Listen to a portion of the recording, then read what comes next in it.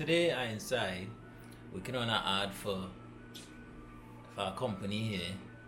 It take a little too long, longer than I really supposed to.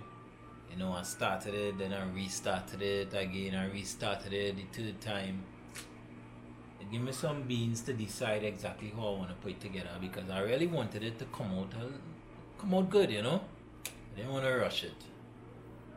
You know, and I think I'm satisfied with how it Tell